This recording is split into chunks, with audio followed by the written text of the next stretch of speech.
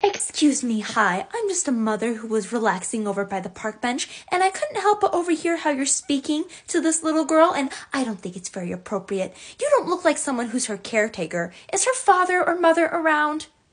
Hey, Eri, what do we say to people who don't know how to mind their business? Huh? Oh, I got you. Step off, hag. Oh my goodness! How could you be teaching a small child this kind of behavior? Easy. I had permission from her father. Ain't that right, Aizawa? That's right. Now, who exactly are you to be yelling at my children? Well, I'm just a concerned mother who does not think you're doing a very good job of raising this little girl.